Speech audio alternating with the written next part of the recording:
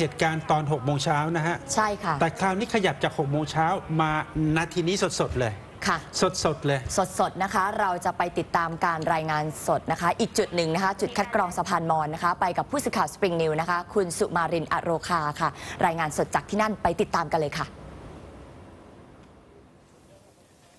สวัสดีครับคุณสุมาลิตครับ ค่ะบริเวณที่ดิฉันยืนอยู่ตรงนี้คือบริเวณปากคลองตลาด ปลายแถวของจุดคัดกรองสี่แยกสะพานมอนค่ะ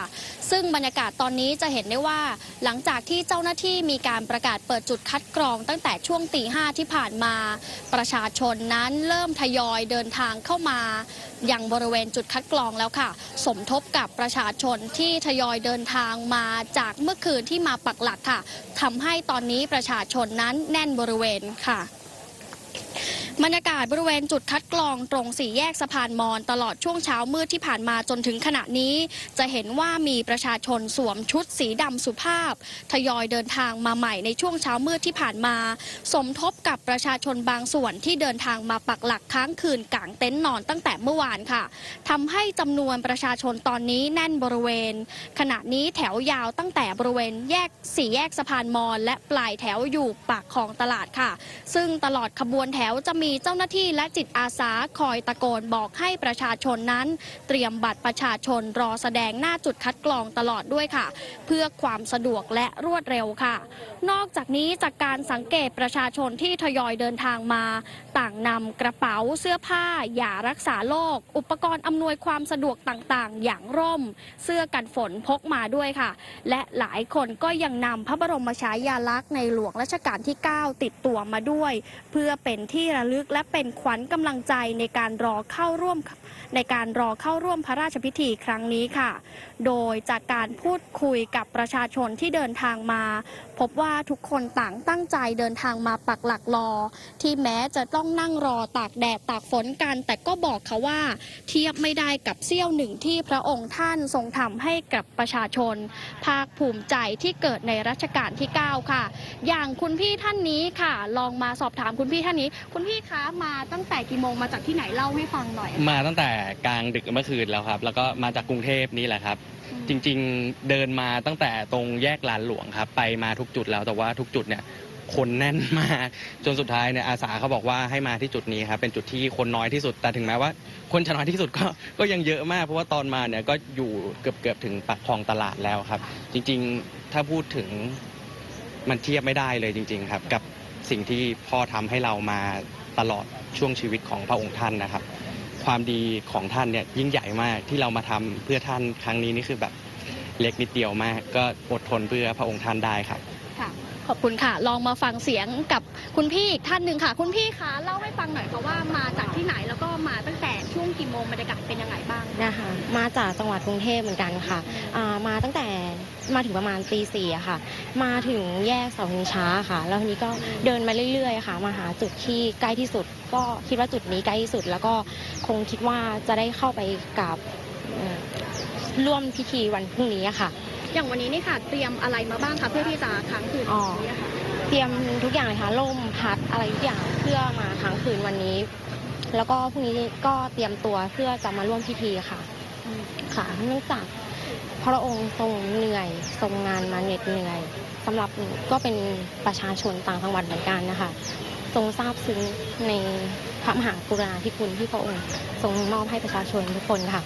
ค่ะขอบคุณขอบคุณค่ะ นี่ก็เป็นเสียงบรรยบรรยากาศประชาชนนะคะ อย่างไรก็ดีค่ะตลอดตั้งแต่ช่วง 5 นาฬิกาหรือตีห้าที่ผ่านมาที่ทางเจ้าหน้าที่เปิดให้ประชาชนเข้าจุดคัดกรองทั้งหมด พร้อมกัน 9 จุดค่ะ จนถึงขณะนี้ทำให้ประชาชนเกือบทั้งหมด เริ่มมีการขยับและทยอยเข้าแถวรอแสดงบัตรประชาชนกันอย่างล้นหลาม ทุกจุดคัดกรองแล้วค่ะ โดยบริเวณจุดคัดกรองตรงสี่แยกสะพานมอนที่ดิฉันยืนอยู่นี้ก็จะเห็นว่ามีประชาชนเดินทางมาอย่างไม่ขาดสาย เพื่อรอเข้าาไปจับจองพื้นที่ด้านในมณฑลท้องสนามหลวง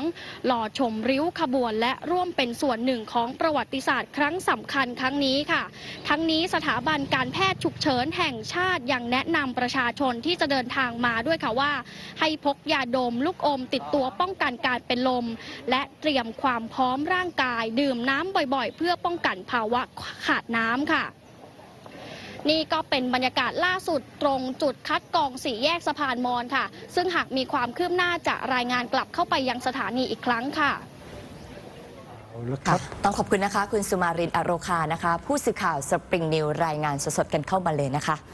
ย้ำนะครับว่าพระราชพิธีถวายพระเพลิง จะมีในวันพรุ่งนี้นะครับ 26 ค่ะ นั่นหมายความว่าทุกคนต้องค้างคืนบนฟุตบาทค่ะ ดูต้องแล้ค้างวคืนบนฟุตบาท ดูแล้วทุกคนเตรียมพร้อมมาว่าจะต้องค้างคืนที่นี่หนึ่งคืน และสิ่งที่จะต้องเตรียมเป็นอย่างยิ่งก็คือ เตรียมเผชิญกับฝนถ้าจะมา ค่ะ จากนาทีนี้จนกระทั่งถึงวันพรุ่งนี้ ไม่มีใครตอบได้ จะต้องเผชิญกับฝนอีกสักกี่รอบอะนะครับ ค่ะ โชคดีรอบเดียว ค่ะ อาจจะมากกว่าหนึ่งรอบ ค่ะ ก็หวังว่าจะเป็นเช่นนั้นนะคะ แต่ว่าหลายคนก็เผชิญฝนมาตั้งแต่ 23-24 แล้วก็มีนะคะ อยากจะย้ำอีกครั้ง นี่แหละ คนไทยเกิดในรัชกาลที่ 9 ค่ะ ก็ก็มีบางข้อความอ่านนะฮะ โอ้ มีภาพตักบาตรด้วยสิครับ ค่ะ อ้าวอ้าวไม่ทันแล้วละมั้งหรืออย่างไรอ้อมีหนึ่งข้อความที่ส่งเข้ามาถามในเชิง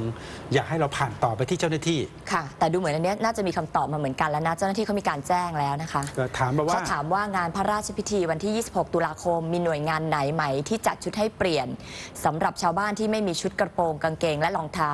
รู้ไหมครับ ไว้บริเวณพระเมรุมาตรจำลองทั่วประเทศไหมครับ พอมีข้อมูลไหมครับ อ๋อรวมถึงอ๋อรวมถึงพระพระเมเมรุรุมามาตตรร จำลอง ทั่วประเทศด้วย ใช่ แต่ที่แน่ๆเนี่ยกรุงเทพ 9 จุดเขาจะมีจุดคัดกรอง 5 จุดแรกเขาจะตรวจตั้งแต่แรก เพราะฉะนั้นถ้าไม่พร้อมมันจะผ่านด่านเข้าไปไม่ได้ แต่จุดพระเมรุมาตรต่างๆ เดี๋ยวคงต้องเช็คกันอีกที นะฮะอันนี้ไม่ทราบจริง ๆ แต่ว่าค่ะ ก็ก็บอกผ่านไปก็แล้วกันค่ะ นะฮะเผื่อเจ้าหน้าที่มีคำตอบ ผมนึกภาพนะ ค่ะ ผมนึกภาพนะ